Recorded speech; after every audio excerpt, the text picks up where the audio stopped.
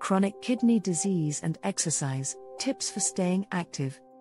Hi there, and welcome to this video on chronic kidney disease and exercise. If you or someone you know is living with chronic kidney disease, you may be wondering about the benefits and risks of exercise and how to stay active while managing your health condition.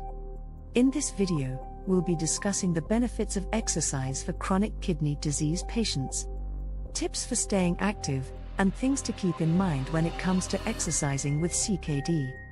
Section 1 Benefits of exercise for CKD. First, let's talk about the benefits of exercise for those with chronic kidney disease. Exercise is an important part of a healthy lifestyle, and it can have many positive effects on the body. For those with CKD, regular exercise can help to improve heart health, Cardiovascular disease is a common complication of CKD. And exercise can help to strengthen the heart and improve blood flow, reducing the risk of heart disease. Lower blood pressure, high blood pressure is also a common complication of CKD, and exercise can help to lower blood pressure levels. Improve bone health, CKD patients are at higher risk of developing a bone disease, but weight bearing exercise can help to build and maintain bone density. Improve muscle strength. CKD patients may experience muscle wasting and weakness. But strength training exercises can help to build and maintain muscle mass. Boost mood and energy. Exercise has been shown to improve mood and energy levels, which can be particularly important for those with chronic health conditions. Section 2 Tips for staying active with CKD. Now that we've talked about the benefits of exercise, let's discuss some tips for staying active with chronic kidney disease. Before starting any new exercise program, it's important to talk to your doctor. They can help you determine what types of exercise are safe and appropriate for you based on your individual health needs and medical history. Start slow and build gradually, if you're new to exercise, or if you've been sedentary for a while.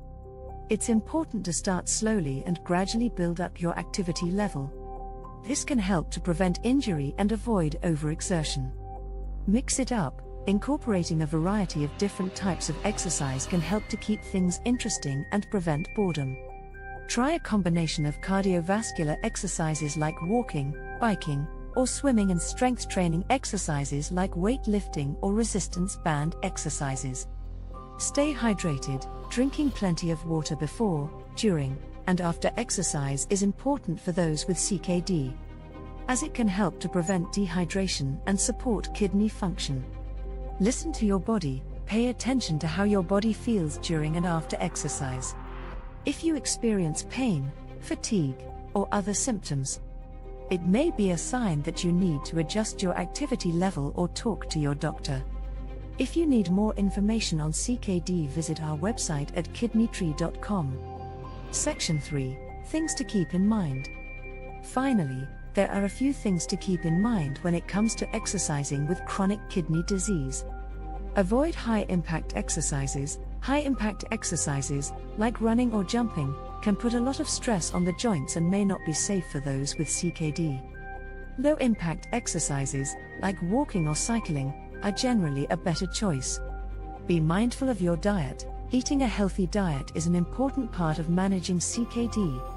And it's important to make sure you're fueling your body properly for exercise. Talk to your doctor or a registered dietitian for guidance on what types of foods to eat before and after exercise. Monitor your medications. If you're taking medications to manage your CKD, it's important to be aware of any potential side effects. In summary, exercise can be a great way to manage the symptoms of CKD and improve overall health. It's important to talk to your doctor before starting any exercise program and to start slowly, gradually building up your endurance. Strength training, flexibility exercises, staying hydrated, and taking rest days as needed are all important components of an exercise program for people with CKD. Thanks for watching, and I hope these tips were helpful.